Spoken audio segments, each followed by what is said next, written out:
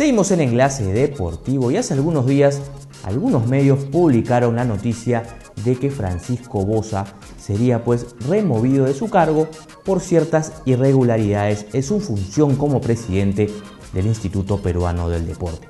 Pues bien, Francisco Bosa, medallista olímpico en las Olimpiadas de Los Ángeles 84, conversó con nosotros y esta es su versión sobre estas supuestas irregularidades en su función.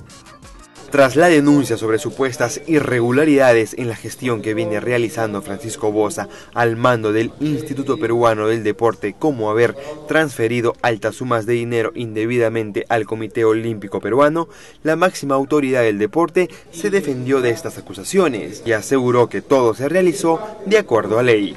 Somos servidores públicos y estamos sujetos a que todos nos puedan solicitar información. Hay unas denuncias que hace seis semanas se presentó los descargos ante la Fiscalía, esta semana acudió a la Fiscalía, supuestas denuncias de por las transferencias que se le dan las subvenciones al Comité Olímpico Peruano y todas están de acuerdo a la ley. Al Comité Olímpico Peruano se le viene transfiriendo fondos de hace 30 años, esto no es nuevo, y están sujetas a procedimientos de subvenciones. Como te decía, nuestro país no organiza eventos hace 15 años. El último juego bolivariano fueron el año 97 en Arequipa, mucho más reducido, con presupuestos de 8 millones de dólares, 19 deportes. El año pasado tuvimos 11 países, más de 1.500 deportistas y se hicieron los primeros Juegos Bolivarianos de playa. Había que desembolsar un presupuesto. Eh, los Juegos Bolivarianos de este año absolutos, casi 4.000 atletas en tres ciudades. Eh, los Juegos Sudamericanos de la Juventud, la Conferencia Mundial de Deporte para Todos, eventos que nunca han existido y que están presupuestados y se ha cumplido con todos los procedimientos legales de acuerdo a la ley de presupuesto público eh, y estipulados y respaldados los tres mecanismos de control previos de solicitud que se informa al Ministerio de Economía y Finanzas, Contraloría General de la República y Congreso, donde se aprueban los desembolsos o las subvenciones que se le van a otorgar a los distintos federaciones y entes del sistema del Sistema Deportivo Nacional, donde los cuales está el Comité Olímpico, y están aprobando la ley de presupuesto. No es que como se dice que yo he agarrado fondos del IPE y los transferido al Comité Olímpico. No, han cumplido sus procedimientos de solicitud, han cumplido sus procedimientos de control y están estipulados en la ley. Sobre un supuesto favorecimiento con puestos de trabajo a amigos y familiares, el presidente sostuvo.